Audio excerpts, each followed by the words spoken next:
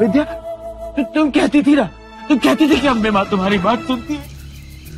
आज तूने मेरे बेटे की साँसें लौटा दी ना। नास्तिक भी हाथ जोड़कर सर झुकाकर तेरे सामने खड़ा हो जाए।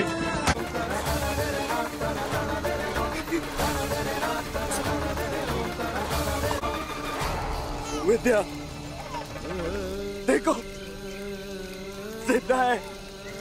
हमारा बच्चा ज़िंदा है। कुछ नहीं हुआ उसे।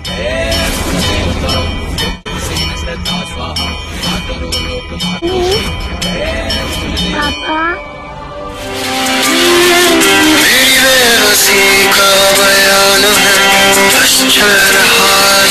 इस घड़ी।